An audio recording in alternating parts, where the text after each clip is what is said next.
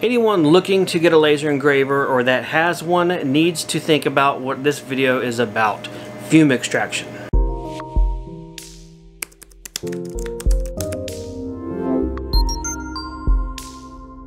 Hey everyone, my name is Sam and welcome back to Samcraft.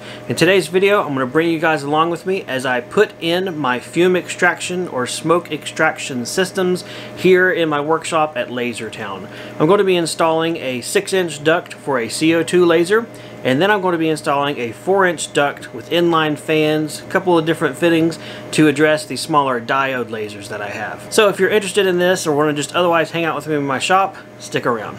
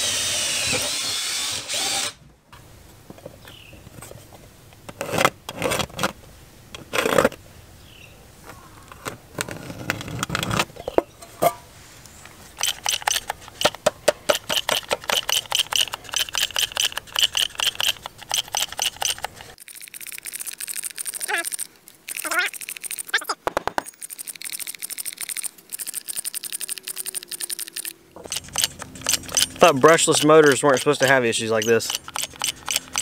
This tool's not that old. Okay, I've been fiddling with this thing for about 15 minutes. It's not going to start. It's been getting worse and worse on me, and even though it's a brushless motor, um, it's still, I don't know, it's acting up. So I guess what I'll do is just go get a 4 inch hole saw. I thought I had one. Apparently I have every size but a 4 inch, so might as well get it and add it to the collection, right? Plus it'll make this a lot easier and cleaner of an install. So let's go spend some money. Why not?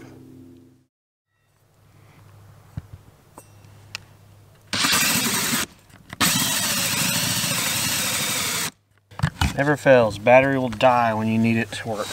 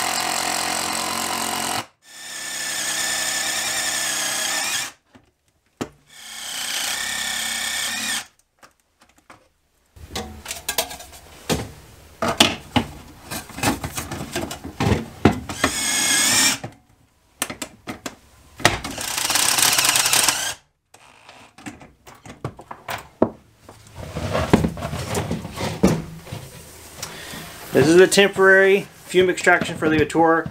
Just some 2 inch PVC I put together and taped the flex hose from the enclosure too. It worked good though, but it's time for something better. If I remember right, the Ortur has a 3 inch outlet, so I purchased a 4 inch to 3 inch reducer.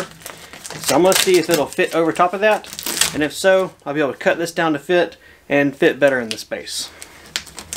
So here's a look at the flex hose coming out of the Ortur's enclosure, and here is the 4 inch to 3 inch adapter I got. Let's see if it will fit. Looks like it will. Awesome. So the Ortur's hose fits on this adapter, which will then go into a flexible rigid piece that I'll make into another 90 degree elbow and attach into the bottom of the T I just installed. I'm also going to take the time to shorten the length of corrugated pipe coming out of the Ortur because honestly, I don't need one that's about six feet long like it is. So I'll go ahead and cut that down to size and we'll put it all together. Actually, I just came up with a better solution. I just put the reducer in the bottom of the T, and I'm just going to hook the flex hose from the Ortur straight to that reducer. It saves me from having to put this into place, saves it for something else down the road, and just makes things simpler overall.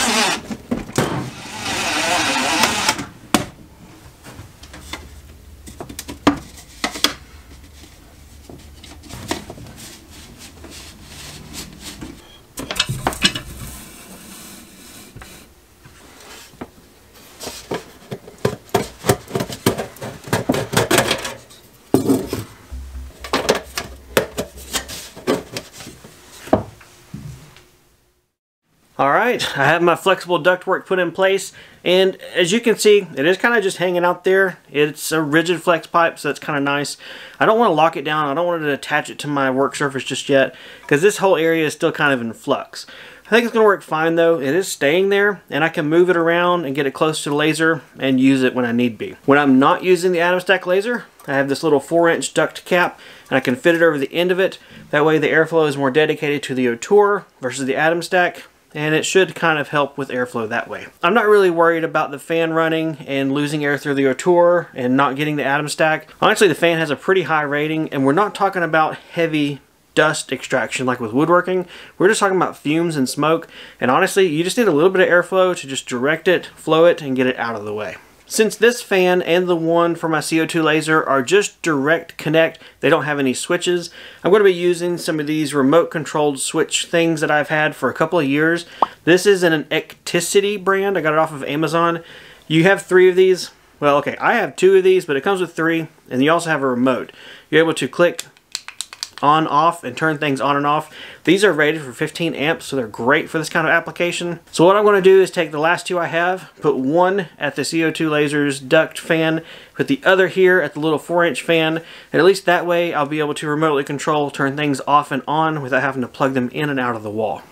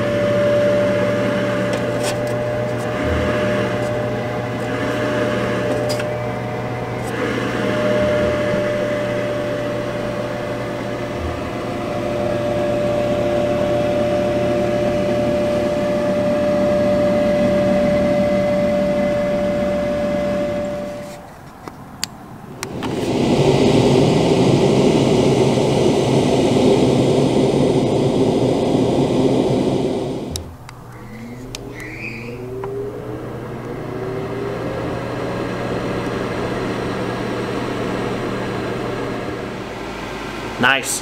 Very, very handy. Highly recommend this little guy.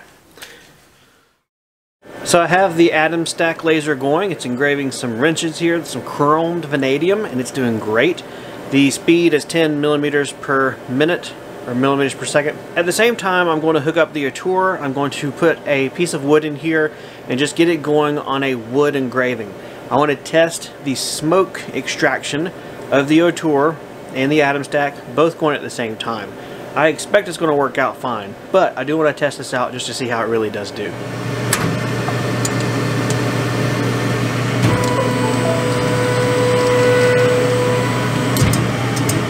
So really quickly, I want to show you guys the huge benefit of having the grid wasteboard like I do on my lasers, like with the Ortur. I just loaded up my Samcraft brand because it's a nice dark image.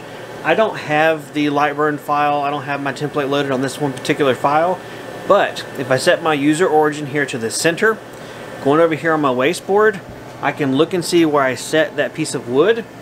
It is at center point X12.5, Y 7.5. So I can just simply set my origin, tell the laser to move, 12.5, 7.5, use it, set it, and know that it's there. That is a great use and real life example of how I can use a grid board here, just plop something, not get super picky in Lightburn, and just set my origin and know that I'm good to go.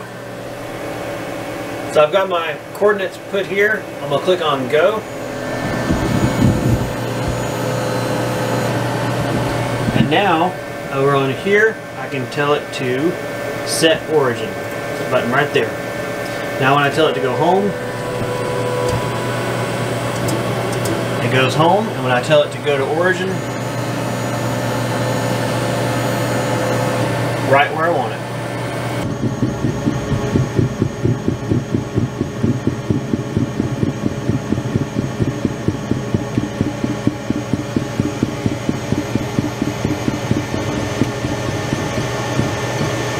So it's really hard to see that on camera, but it is taking every bit of the smoke out. There's no smoke smell, and even as I had the case open, doing some video back and forth, I could only barely, barely get a whiff of it. And that is great. That kind of wood is super smoky, so I don't use it a whole lot, but it's a perfect test of is it actually drawing air out while this other machine was going. Everything's open, wide open. Does it still have enough power? Absolutely definite win for the little Vivo fan. I'm very happy. So I ran the Ortur with the case open, you guys saw that on film, and that was engraving on a piece of painted wood. That is a situation where you're going to have a lot of fumes and smoke coming out. While I was in here watching that go, of course with safety glasses on, I didn't have any smoke or fumes coming out of the case. That's awesome. That tells me that even with the lid open of the enclosure, it still had enough airflow going through my system to remove it all and keep it out of the shop. That is perfect. That is exactly what I want and what I needed from this setup. So I've been using my fume extraction for a couple of days now and I am extremely pleased with it. It does very very well on removing not only the fumes from the Atomstack laser here but also the Ortur. Whether or not the Ortur is blocked off, it still does fine. The inline duct fan does a great job moving a high volume of air and it's not that loud, so that's great. I only briefly covered the fume extraction for the CO2 laser because that's going to be in a completely separate video. I just wanted to also show that in there to let you guys know I do have fume extraction on that machine and now I have one over here as well. Overall this is a pretty low cost project. The fan was about 20 something bucks off of Amazon and the rest of the ductwork came from my local hardware store. So looking ahead to future expansions I think I want to probably get some 4 inch blast gates that way I'm able to easily shut off the Atomstack or the Ortur's feed and if I want to add more piping down here for the Xtool laser that I've got that I need to get set up, I can do that pretty easily as well. I think at that point it'll be great to have the blast gate so I can dedicate all the airflow to whatever machine or machines I want and it'll just give me a lot more control over the situation. I'll be sure and update you guys whenever I do that. It's probably going to be with the Xtool video that I'm working on. I have the D1 Pro 20 watt 2-in-1 kit and it is here and I'm starting to test it out use it and we'll have a tool review video on it coming up in the next couple of weeks. Otherwise that's going to be it for this video. Hope you guys enjoyed getting to see me address my fumes, my fume extraction, smoke extraction, whatever you want to call it, and make my shop space safer and better for whenever I'm using the laser engravers. If you got any questions or comments, you know what to do. Leave them for me down below. Otherwise, take care, and I'll see you guys next time in the workshop.